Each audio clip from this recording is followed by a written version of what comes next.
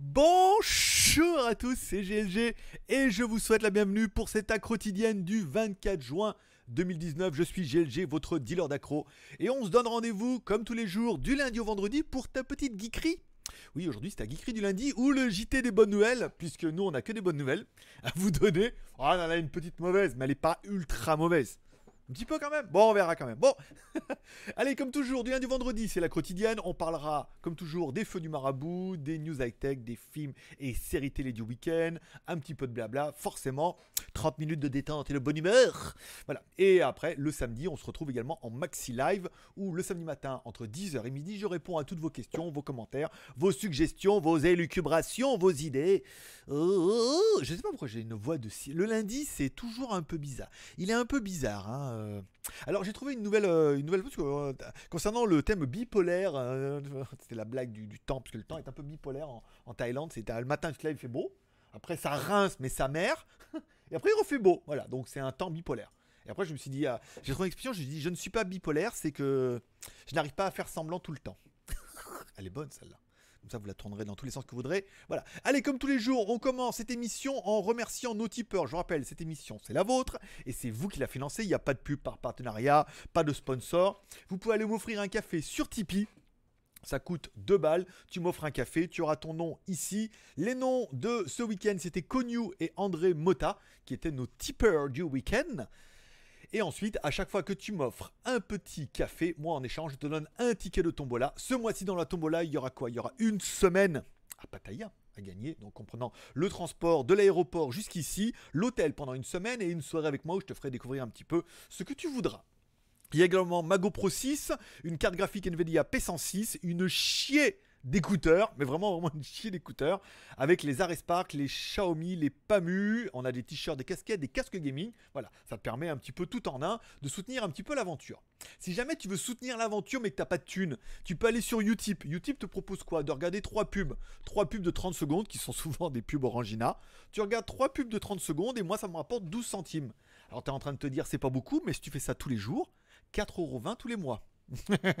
Dis donc, ça en fait un joli café. Et vous êtes de plus en plus nombreux à le faire. Ça fait extrêmement plaisir puisque la semaine dernière, on était à 28 euros sur les 30 derniers jours. Et là, on est à 32,69 euros. 69, mon chiffre préféré. Rhône-Alpes en force. Forcément, Lyon. 6,9. Euh, 32,69, c'est-à-dire que vous êtes de plus en plus nombreux à le faire tous les jours. Et voilà, bon, ça fait 32 euros par mois. Hein. C'est pas non plus. Euh, tu vois ce que je veux dire, machin? Mais sinon, euh, c'est quand même pas mal. Voilà. Merci à tous ceux qui prennent une minute et demie de leur temps précieux en échange de cette demi-heure incroyable pour soutenir un petit peu l'aventure. Allez, on parle un petit peu des news du jour. On commence par mes news, la page Pataya French Group où je mets des news tous les jours concernant Pataya. Alors toi, ça tu, ça, tu pars. C'est là, euh, j'ai des patates. Alors, euh, samedi, c'était plutôt sur le Bénis Café où j'irai demain manger à. BKK, si tu nous regardes. Demain, c'est poule, demi-poulet frites. En plus, il y a le marché. Un petit café après, c'est bien. Le Sony Center, ça tombe bien puisque j'avais ma caméra en réparation, elle est revenue aujourd'hui, donc c'était quand même l'occasion d'en parler. Il y a quand même un SAV officiel Sony à Pattaya. Euh, n'importe quoi à réparer, t'es quand même bien content de trouver ça. Et aujourd'hui, c'était Ramayana, le parc aquatique de Pattaya, quand même le premier, le, meilleur parc apparemment en Thaïlande, le deuxième en Asie, c'est-à-dire que c'est quand même pas de la merde, et le numéro 12 dans le monde. Donc c'est quand même un parc aquatique qui est, que j'aime beaucoup, et quand tu regardes un petit peu les stats, tu comprends pourquoi ce parc, euh, il, est pas, il, est, il est pas dégueu. Il est Allez, Instagram, vous retrouverez bien évidemment les photos, Poulco, réassort de Poulco, vendredi, les cafés, euh, le spa café, le Casa Lapin. Alors, c'est Casa Lapin. C-A-S-A, plus loin lapin. Mais Casa Lapin, quand tu lis ça un peu français, tu dis Ah, j'irais bien manger dans, dans la Casa Lapin. c'est grand dedans. Bon, peut-être qu'on ira faire un tour et je vous ferai une vidéo. La vidéo du jour, où, enfin, du jour où je mets un peu toutes mes vidéos que j'ai fait et quand je suis allé manger ce midi. Alors, ce midi, je suis allé manger chez Baba. ah mais j'aime bien les noms. J'aime bien trouver des noms un peu... Si le nom est un peu chelou, ça me plaît bien. En plus, c'est très putaclic. Je rappelle Baba en France, c'est euh, Cyril Hanouna, son pseudo. Il y a le Baba au Rhum. Ou pour les plus jeunes d'entre vous, il y a l'avoir dans le Baba. pour ceux qui connaissent pas, c'est juste l'avoir dans le cul. Hein. Mais quand on dit je l'ai eu dans le baba, c'est toi, c'est plus, c'est plus politesse. Par exemple. Allez, on parle un petit peu des stats. Bon, les stats du week-end qui n'ont pas été dingo. Euh, bon, on a fait 30 abonnés vendredi, samedi que 12, dimanche que 17 et lundi. Alors là, c'est lundi que 4. Alors on est à 2100, en que 5 aujourd'hui. Bon, c'est un peu juste, ça va niquer ma moyenne là. Je pensais qu'on allait arriver aux 25 abonnés par jour et on va plutôt stagner autour des 22. À voir combien on fait aujourd'hui. C'est vrai que si aujourd'hui on fait 37 ou 35, ça pourrait faire un petit peu exploser les stats. Pourquoi pas? Fais voir, j'ai le GLG Review avec la review du jour. On est à moins 1. c'est surnaturel. Hein. Pas les écouteurs, je n'aime que les smartphones. Et sur euh, WTS, tiens, pour voir un petit peu, Moins 1 aussi, plus 1 hier, moins 1 aujourd'hui, plus 2 avant-hier, moyenne de plus 2 sur les 30 derniers jours. Euh, c'est dur, hein C'est dur. Non, mais en ce moment, c'est dur. Hein. Internet et tout, c'est pour ça qu'il y a, y a beaucoup de cadavres au bord de la route, là, en ce moment. Euh. ne s'acharnent que les plus acharnés, forcément. Allez, on parle un petit peu des news du marabout. Alors, les news, euh, les feux du marabout. Alors, je vous ai proposé la semaine dernière de vous mettre le podcast avant, c'est-à-dire que l'émission est enregistrée l'après-midi, diffusée le live en live le soir à 16h en première. Ça veut dire que vous pouvez chatter entre vous, euh, vous rejoindre, comme vous êtes quand même pas mal là. Voilà, bonjour, ça va? Oh, et toi Bisous, t'as ton week-end? Pas de chat entre vous. Faites ça en MP. Je vous ai proposé également de mettre l'émission en podcast, mais plus tôt. Ça veut dire que l'émission est sur YouTube également en podcast. Elle tombera tous les jours en podcast à 13h. Oui, monsieur. Bah, va comme ça, ça vous permettra de l'écouter en podcast et de la regarder le soir ou que de l'écouter en podcast, enfin de l'avoir un petit peu en première. Euh, tiens, j'ai dégusté un petit peu ce week-end le poulco fraise, puisque des fois tu as des envies. Des fois, tu as des envies de fraises et des fois, tu as des envies de poulco. Surtout à cause du marabout. Hein. Alors, j'avais envie de poulco fraise et euh, voilà, donc euh, ça fait partie de mes envies. J'ai goûté, c'est pas trop mal. Ça fait un peu fraise diluée parce que c'est fraise citron, mais c'est plutôt intéressant. C'est c'est pas très très fort. C'est moins fort que Laurent Changuine. Laurent Changuine faisant beaucoup plus euh, tropico. Parce que quand c'est trop, c'est tropico. Ce qui n'a rien à voir avec Pulco, mais il fallait que je la place. Euh, et puis, puisqu'on parle d'envie, d'envie de fraise, tiens, ce week-end, alors, je veux dire, il y a vraiment des miracles. Hein, et vraiment, là, en ce moment, il arrive beaucoup de miracles pour moi. J'ai eu envie de lire T'imagines Enfin, moi, lire, enfin, faut quand même là, il faut quand même du miracle niveau 12, quoi. C'est du miracle avec de la bougie et avec euh, de l'étincelle lumineuse. Eh ben oui, j'ai aussi envie de bougie Puisque la transition est incroyable. J'ai eu envie de bougie hier, j'ai eu envie de lire, mais un truc de dingue. Alors, envie de bougie, euh, il y avait une promotion avec l'argent de Michel. J'avais m'acheter des bougies parfumées, mais voilà, donc j'en ai foutu partout. Moitié prix. Quand t'as envie de bougie, t'arrives dans le magasin qui te disent aujourd'hui c'est moitié prix. Putain bah voyons, bah, je vais en prendre 4 alors. Bah, j'ai pris 4 jolies bougies qui sentent bon. Voilà. Et hier, j'avais envie de lire un truc de dingue. Oh, je sais pas le truc, mais euh, le Seigneur est avec moi en ce moment là. Il me. En fait, comme j'avais rien à lire, j'ai même pas 01 net, ni. J'avais que mes livres sur Bouddha à lire. Alors j'ai commencé les livres de Bouddha. J'avais acheté deux livres de Bouddha, qui c'est les principes de Bouddha, qui est les meilleures ventes Amazon. Et l'autre, c'est après la, vie et la mort d'après Bouddha. J'ai commencé hier et je me suis fait presque. Alors il y a il y a beaucoup de chapitres quand même. Il est épais, hein, il fait 700 pages le truc. Mais oh là là là là, c'est vachement bien. Et du coup, j'ai bien, enfin, j'ai pas bien dormi, mais j'ai dormi. Voilà. Hein, les envies sont un peu étonnantes. Et puisqu'on parle d'envie. ouais, je l'ai préparé, on est d'accord. Euh, Amazon, vous savez qu'Amazon livre en Thaïlande à présent? Alors, Amazon livrait un peu en Thaïlande, mais ne livrait pas tout. Amazon livrait les livres et les choses comme ça qu'on pouvait se faire envoyer directement en Thaïlande. Et hier, je me suis dit, tiens, fais voir un peu. Euh, je regardais le, support de micro rod, puis le clavier là, le clavier du, iPad là. Là, iPad là, ça là, ça. 200 balles? Que les touches sont même pas trop éclairées? Que le truc magnétique ça tient même pas bien je me suis dit, mais c'est quoi cette merde là? Après, il est bien, il est compact, mais il y a quand même mieux. Alors, je regardais un petit peu sur, euh, sur Amazon et il existe le clavier Logitech avec rétro-éclairé, euh, le renfort qui protège qui avait l'air quand même pas mal. Je me suis dit, je le mets dans mon panier, et puis au mois d'août, quand j'irai en France, bon, ben, je le commanderai, je le recevrai. Et puis il y avait le pied de micro. J'en ai trouvé un Rod, mais j'ai trouvé un beau pied de micro, un truc cher. Hein. Tout le monde s'est dit, vas-y, c'est vous qui payez, de toute façon, on regarde pas la dépense. non, pas, pas tant que ça. Mais voilà, un beau pied de micro. Puis j'ai pareil, je mets dans le panier. Puis j'ai remarqué euh, livraison possible en Thaïlande. Je dis, qu'est-ce que c'est? Ah bon? C'est tout nouveau ça. Et quand tu regardes, en fait, oui, tu peux livrer en Thaïlande. Alors oui, les frais de port, ça pique un peu. C'est genre 50 euh, balles pour les deux. Alors t'es en train de te dire oui. Par contre, les prix sont hors taxe. mais oui, Amazon te facture hors taxe D'accord? Et te rajoute la TVA thaïlandaise qui est de 7%. Donc tu t'enlèves 20% du prix. Il te rajoute 7% en total, il y a marqué avant sur frais de douane. Ça veut dire que s'il y a moins de frais, peut-être il te rembourse. Bah, à mon avis, tu prépayes les frais de port. Donc, il t'enlève 20% du prix. Donc, par exemple, pour le, pied de micro qui valait 100 balles, quand même, mais euh, il est beau. Hein. c'est Noël là, hein. je veux dire, avec tous les reviews sponsorisés que j'ai là en ce moment, je me suis dit on se fait plaisir, un truc, c'est d'un bloc avec les câbles dedans et tout. Enfin, tu vas, oh, vas pas le voir, mais moi, euh, je vais, euh, je vais mastiquer avec, hein, parce qu'il est beau. Et pour une fois que j'ai un nouveau bras à la maison. Euh, par contre, je sais pas s'il est livré avec une main. s'il est livré avec une griffe, ça va piquer un peu. Bon, là, là n'est pas le sujet. C'est lundi. Euh, voilà, donc il livre, alors qu'il t'enlève 20% du prix, donc le bras qui faisait 100 balles ne fait plus que 80 balles. Il rajoute bon, les frais de port et 7 points de TVA en mettant avant sur TVA. Bah pourquoi pas. Donc du coup, les prix sont pas. Ça pique un peu parce que ça vient quand même de loin.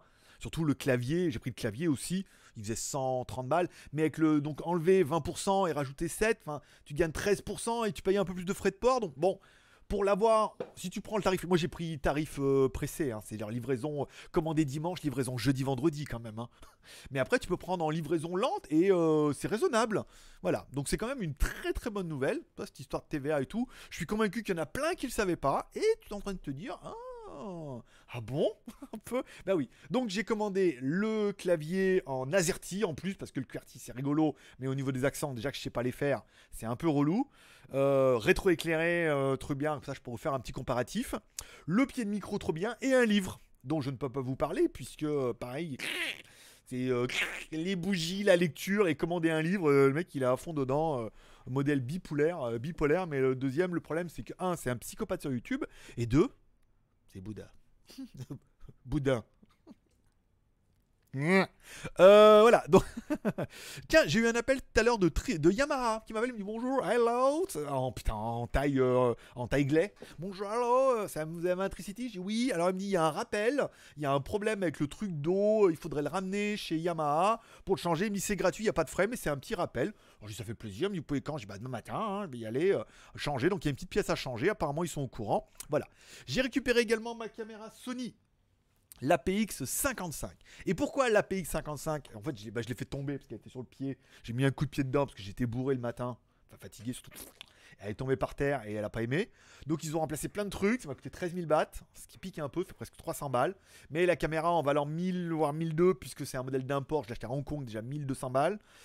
La PX55, l'intérêt c'est que beaucoup de youtubeurs l'ont. Ils ont surtout le modèle le 53 parce que le 55 a un projecteur intégré, ce qui sert à rien, mais c'est le modèle Asie. Euh, qui a une stabilisation optique dedans. C'est-à-dire qu'il y a vraiment la lentille qui bouge et tout. Et ils ont tout ça là, DDE, ils ont ça. Euh, euh, Blondie, Supercar Blondie, elle a ça comme caméra. C'est vraiment un peu le mode où tu dis Ah, et s'ils ont tous ça pour les vlogs, ils ont tous un million et quelques d'abonnés.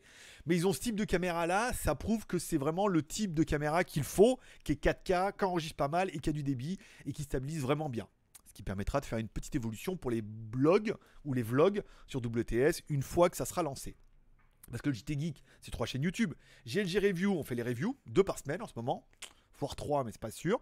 GLG Vidéo à quotidienne et live, et WTS GLG, ma chaîne de vlog en Thaïlande. Je vais découvrir un petit peu. En ce moment, je suis très café-restaurant il y a du rigolo. Tu trouveras le lien dans la description aussi.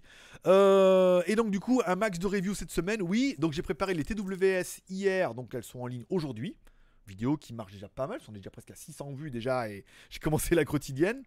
Euh, le traducteur, intelligence artificielle, carte eSIM, Wi-Fi euh, direct, écran Retina. La vidéo tombera mercredi vu qu'elle est prête. Je pourrais vous la mettre pour mercredi. Allez, elle est là. Donc elle tombera mercredi sans trop de problèmes. Et puis je vais attaquer la caméra IP qu'elle veut que je fasse avant le 6. Voilà. J'attends deux produits aujourd'hui et vous n'imaginez même pas le nombre de mails que je reçois en ce moment. Oh, des gens ah, veulent des reviews. Alors ils veulent tous des reviews gratuites. non, on fait plus ça. Oui, mais avant. Non, avant, c'était avant. Là, c'est pas possible. Il me reste encore. Euh, j'ai au moins euh, encore 7 euh, ou 8 produits de retard. Donc, si en plus il y en a des gratuits dedans, parce que les produits que je voulais faire, mais c'est pas possible, madame. Donc j'ai dit non. Voilà. Bon, vos commentaires, Vos commentaires de la veille ou du week-end, pas grand-chose, vu qu'on a quand même fait un live samedi et on a dégrossi hein, ce qu'il fallait au niveau des commentaires. Donc voilà, pas mal de, réactions par rapport au live, vous êtes quotidienne. Voilà, pas mal de réactions. Ça fait plaisir que vous réagissiez. Arrêtez le poulco. Hein.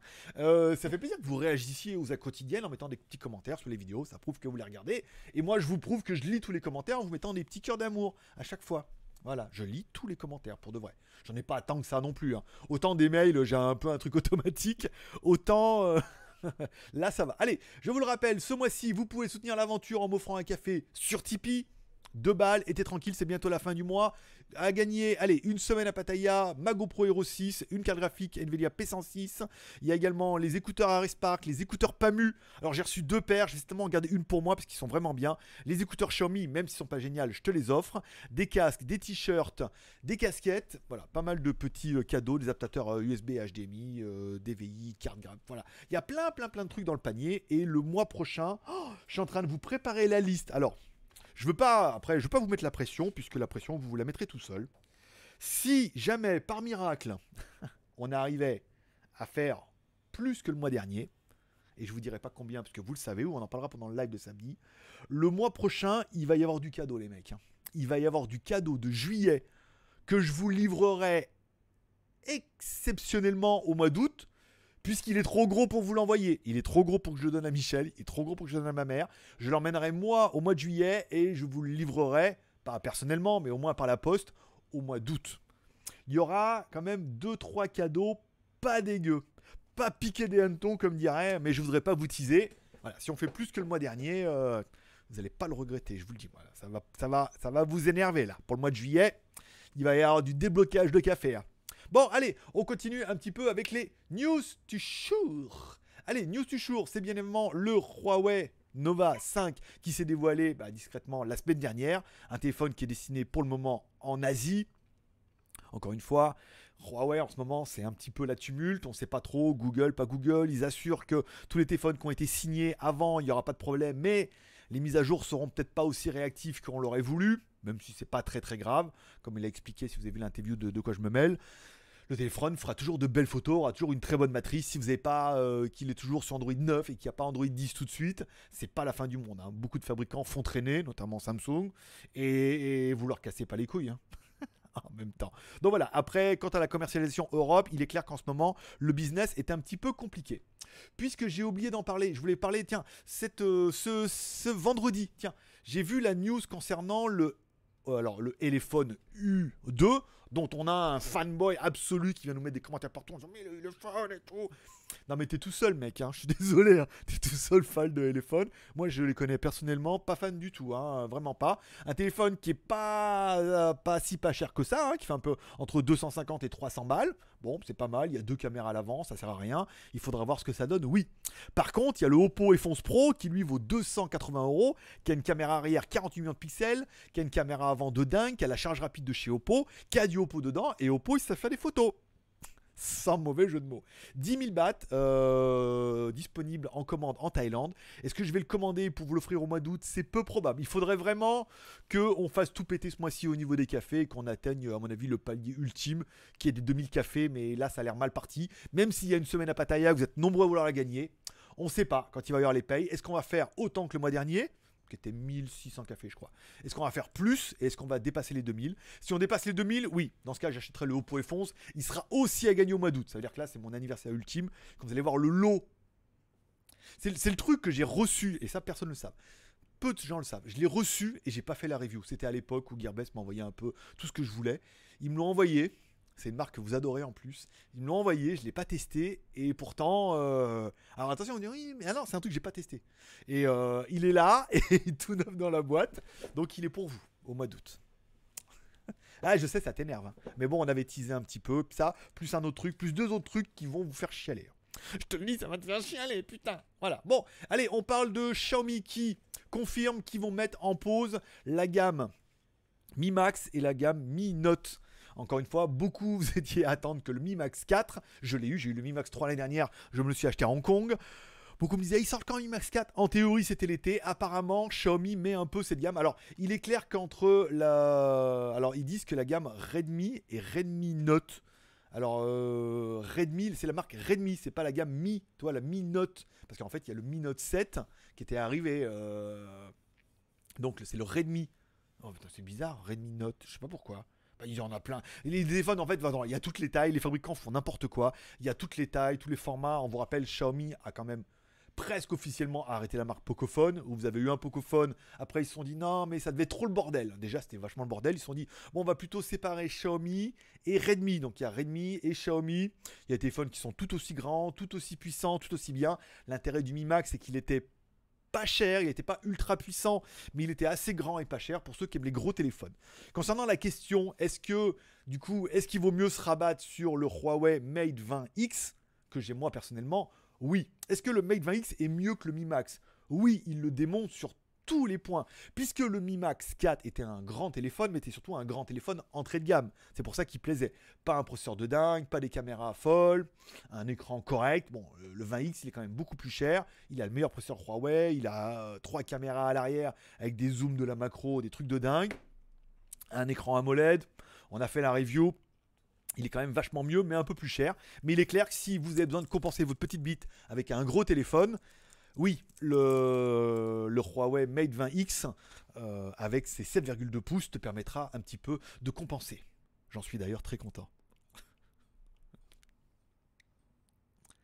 Là en podcast, tu demandes ce qui se passe. Non, mais ça, c'est j'appelle à réflexion.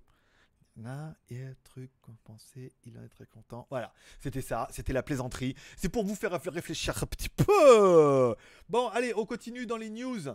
Puisque, alors, on m'en parle pas mal dans la quotidienne, on me dit Ah, t'as vu, Xiaomi sort une nouvelle marque, la marque CC. Bah, je dis Mais non, la dernière marque qui sort, c'est Meitu. Non, mais c'est CC. Alors, il y a eu nanana. Alors, après, du coup, j'ai eu le doute. Est-ce qu'il y a vraiment une nouvelle marque encore qui arrive Ce qui serait un peu étonnant? Non, Xiaomi a un petit peu indirectement racheté Meitu ou les a sauvés de la faillite, qui étaient des téléphones très euh, mode selfie pour les meufs en forme de bouteilles de flacons de parfum avec des petites caméras et tout. Bon, là, Xiaomi s'associe avec Meitu pour sortir le téléphone avec quelque part du Xiaomi et le savoir-faire au niveau photo de Meitu, pour ce qu'il en reste. Bon, il en, on s'en retrouve avec un téléphone complètement aseptisé, qui n'a rien, de rien, de plus rien, de jamais. Simplement un petit téléphone Xiaomi. Alors, c'est comme si un peu pendant un moment, ils disaient oui, mais petit téléphone, mais nous on met du Nokia dedans, dans le logiciel. De la merde de la merde en bas. Bon bah voilà, le téléphone a perdu tout, euh, à mon avis, ce qu'il faisait que le téléphone Mate 2 était particulier, ce qui ressemblait à rien. Ces téléphones-là, c'était bizarre, ils avaient des formes cheloues. C'était vraiment vachement pour les meufs et les meufs en mode selfish. Oui, parce que selfie vient du mot selfish, bien évidemment, le mot américain qui veut dire bon un petit peu égoïste quoi, tu vois, narcissique, selfish. Vous savez, t'as compris ou pas? Je le fais super bien. Hein. Bah, je m'entraîne. Hein. J'ai une acrotidio à préparer. Hein. Bon, et enfin, la dernière news du jour, ça sera le Honor Magic Book qui se prépare. Le Honor Magic Book. Excusez-moi, le Honor Magic Book Pro qui se prépare. Alors du coup, c'est plus du Huawei maintenant, c'est du Honor. C'était pas assez le bordel. Ils se sont dit, mais ça, je pense qu'ils l'avaient, ils l'avaient dans la tête depuis un petit moment. Ils se sont dit, oui, des Xiaomi, Redmi, nous aussi, on va faire. ils font des notebooks Xiaomi, demain, on va faire des notebooks euh, Huawei, notebooks Honor. Je pense qu'ils l'avaient dans les bacs. Bon, maintenant, il y a toujours le problème de Microsoft. On ne sait pas trop si. Ah, c'est joliment placé la pub Microsoft. Qui on ne sait pas trop si les téléphones vont sortir. Il devrait avoir la caméra pop-up. Cette caméra incroyable qui te filme de dessous, qui te donne des narines incroyables. Avec des jolis poils et tous les. Bah, on a bien vu que personne n'a dit qu'il fallait être filmé par dessous. C'est joli comme idée, mais ça fait, euh, ça fait un effet qui est un petit peu euh, particulier. Bon, lecteur digital, est-ce que ça permettra à eux de vendre du Huawei moins cher? Il est clair qu'en ce moment, avec tous les problèmes américains, les Windows et les Android, des choses comme ça, je pense que c'est pas vraiment le moment de sortir un appareil, mais en même temps, je pense qu'ils ont un planning de programmation puisqu'ils sont en train de travailler sur le nouveau. Il faut bien qu'ils les sortent un petit peu euh, leurs appareils. Et enfin, la dernière news, c'est OnePlus qui pourrait en fait hein, prochainement proposer de la télé. Alors, c'était déjà quelque chose qui était abordé notamment par le groupe BKK, non BBK, qui fabrique les téléphones pour Oppo et Vivo, et qui fabrique donc les OnePlus, qui se parlait de proposer également et d'assembler de la télé. Le plus logique, c'est vrai que dans la marque du groupe, la marque qui serait le plus opportun pour sortir des télés, ça serait certainement OnePlus. Des télés Oppo. Oppo fait quand même des lecteurs DVD Blu-ray de dingue. Des casques de dingue. Des téléphones de dingue et des téléphones d'entrée de gamme. Vivo, on est plus sur une autre gamme. Donc OnePlus serait un peu plus la marque qui serait axée, qui serait bien pour la télé. Ce qui permettrait peut-être aussi à la marque de rebondir, puisque OnePlus est un petit peu bah, le bébé abandonné du groupe. Hein, je veux dire, vous prenez euh, BBK euh, Électronique qui fabrique la grosse usine avec, du chinois dedans, avec du parti, avec euh, un gros groupe d'électronique très puissant qui fabrique Oppo et qui fabrique les Vivo, qui fabrique également pour les marques qui en auraient besoin. Oppo ayant déposé cette espèce de petit brevet de caméra pop-up, il est fort probable que tous les téléphones qui sortent avec caméra pop-up soient soit sous brevet Oppo Vivo, soit qui soient fabriqués par BBK Électronique. Donc c'est Bon, quand on voit un petit peu la fracasse des prix qu'on a vu avec Xiaomi et Oppo même qui arrive à se concurrencer lui-même avec le F euh, avec des téléphones super bien et pas chers, on se dit que OnePlus c'est quand même un petit peu euh, la cinquième roue du carrosse où les mecs on dit bah alors vous 700 balles ou 500 balles l'entrée de gamme en Chine, le même téléphone, bon il est super bien mais il est quand même placé beaucoup trop cher. Donc peut-être que de leur dire bon alors oui mais euh, on est en train de vous tuer complet là on est en train de vous tuer dans l'œuf en fabriquant pour Xiaomi la même chose en mieux, enfin pas en mieux, mais en carrément moins cher, en très très bon rendement. Donc euh, faire un peu de télé, ça permettrait peut-être de leur dire oui, mais on fait aussi de la télé et de se lancer sur un nouveau business. Alors je dis pas que OnePlus va arrêter les téléphones pour ne faire que des téléphones mais c'est complètement, cette année est complètement improbable de voir arriver un OnePlus 7 et un OnePlus 7 Pro qui sont, oui, 120 Hz, mais quand même beaucoup trop chers, et d'arriver presque la même chose en un peu moins bien sous Xiaomi, sous Oppo, avec des trucs de dingue, et des trucs tout aussi bien. Donc voilà, ça permettrait peut-être à la marque de rebondir, à la marque de rebondir. Allez, on continue avec mon site collaboratif legeek.tv sur lequel vous retrouverez mes vidéos et surtout toutes les vidéos bah, des partenaires et de ceux qui veulent bien poster les leurs dessus. Euh, concernant à celui qui met ses vidéos de football, tes vidéos, je n'ai rien à dire contre, mais par contre, description, pas de description du tout, titre machin, pas de balise, pas de rien, c'est poubelle. Hein. Même si tu mets un lien en retour, il faut quand même un petit peu s'appliquer quand on met une fiche. Au moins pour ta chaîne YouTube. Si tu le fais pas pour moi, fais-le au moins pour toi. Fais-le au moins pour ta chaîne YouTube, parce que sinon tu n'y arriveras jamais. Euh, si c'est bâclé comme ça, c'est pas possible. Euh, on parle des vidéos du week-end. Alors, le Humidigi qui a juste trop bien marché. Hein. On a fait 2500 vues en 24 heures. C'était dingo. Le live du samedi qui est très bien. On est quand même resté deux heures ensemble. Une caméra ok, donc là on est plus sur GeekTech, vous pouvez aller voir sa vidéo, il explique comment la monter dans sa voiture et tout. En plus il s'est fait chier, hein. comme j'imagine, parce que c'est quand on voit les plans, un coup devant, un coup derrière. Moi je sais que c'est du boulot à faire et tout, voilà. La vidéo du dimanche, balade en moto XADV dans Pattaya, on va à Naklua au Spa Café. Et la vidéo du jour, les TWS T88. Des vidéos qui ronronnent pas mal puisque chaque vidéo arrive avec un petit temps à faire ses 50 vues. Alors pour quelqu'un qui aurait une petite chaîne YouTube, 50 vues c'est pas mal. Pour un site qui se lance, on se dit c'est pas mal. On a commencé, on faisait 10, 20 vues. Là on commence, on fait plus 50 vues.